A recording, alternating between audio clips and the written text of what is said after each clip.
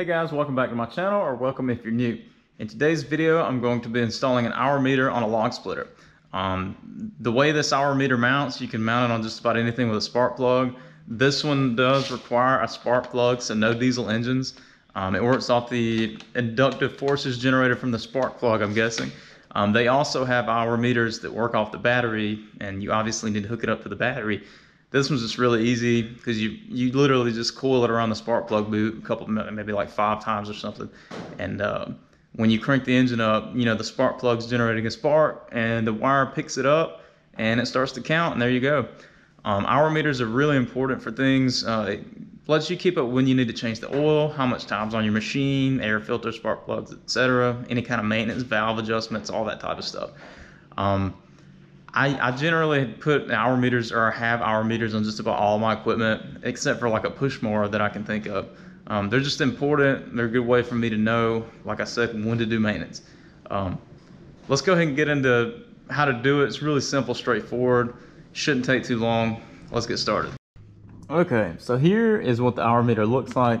It's just this little rectangular piece. Um, it's got two holes to put the screws through, and it's got the wire that plugs into the sensor and wraps around your spark plug. Um, in this case, you really got to plan out where you're going to mount the thing. Um, I can't mount it here, you know, because this muffler and this valve cover is probably going to get hot and touch the wire eventually. Um, and plus, if I drive this thing through brush, can't mount it here because this pivots up and it ripping the wire out.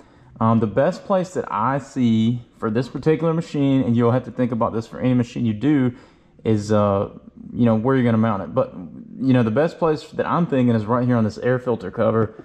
This does pivot up and it's got a little hinge on the back, but I could mount it somewhere here or here. I'm probably going to mount it on the top so I can kind of just see it and not have to lean down. Not that it's that big of a deal, but I can just route the wire down and wrap it around the spark plug boot. And you do want to leave enough room so that you can unplug this when you're changing your spark plug. And you also, in my case, since I'm going to be lifting this up, I need to leave enough room on that. Probably just wrap a zip tie around it or something like that, but we'll figure that out as we go. So I decided to mount the hour meter on top of this air filter cover here. It will be easily visible and just as well the wire will be nice and tidy, not sticking out or anything like that. I can do my reps, run it straight up through here, and you lay the wire in this groove, so that will be perfect you don't want to drill holes and all that type of stuff. Because I'm, I'm going to end up drilling holes to you know for these screws to go in these two holes.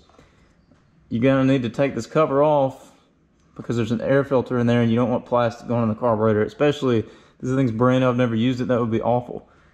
So I'm going to take this cover off and mark these two holes and we're going to drill two holes and I'll show you the screws that it came with. This is what it came with. Um, I don't really feel comfortable using these because over time these things are going to vibrate loose because engines vibrate like crazy. I don't know if you knew that. But uh, I had some of these laying around. I'm going to use these with washers, lock washers, and I might even put some thread locker on there just to be safe so that this thing doesn't vibrate loose. Going to take this cover off and we'll go over to the table, get these holes drilled.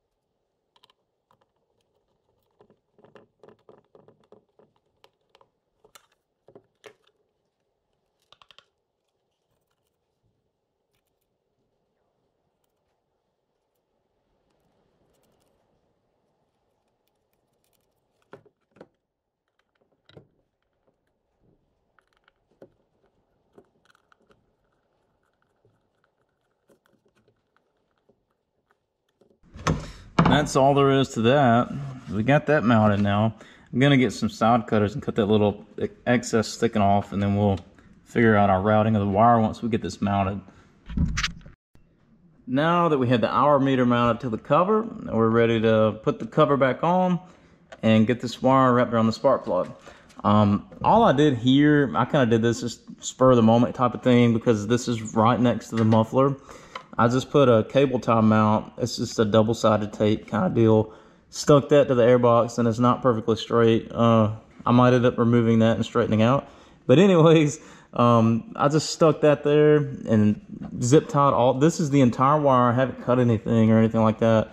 I just coiled it up.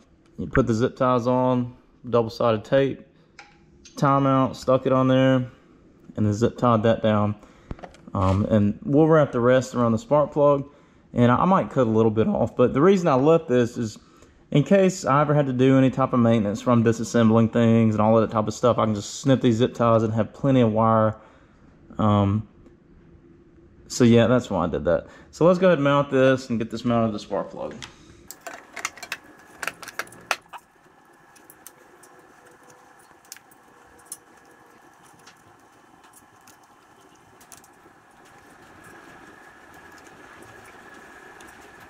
We have our five wraps and we'll go ahead and take the excess here and zip tie it back to this wire to make sure it doesn't come loose or anything.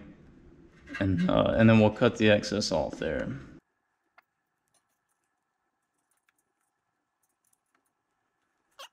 And I'll cut this off. We'll leave a little bit extra just in case, you know, because if this comes back through, it'll uncoil. We don't want that happening. And then I'll just cut this excess of the zip tie off here. And there we go. There it is installed. Everything finished up. And you can see, flip around camera, what are you doing? As you can see these numbers right here, there's a little hourglass. When this thing's running, I'm thinking this hourglass, most of them, thinking this hourglass should flash, like on, off, on, off, maybe every second or something like that. But it will only do that when the engine's running, obviously, because you only want to record the runtime. Um, so what I'm going to do to test this is we're going to start the engine up, and we should see this start to count. Um, this is in one-tenth increments, so a tenth of an hour is six minutes. So to increase 0.1, you would need to run the engine for six minutes. I'm not going to run it for six minutes because if this is uh, cutting on and off, we know that it's counting, right? So let, let me get this thing crunk up, cranked up, crunked, whatever you want to call it, and uh, we'll see if it's counting.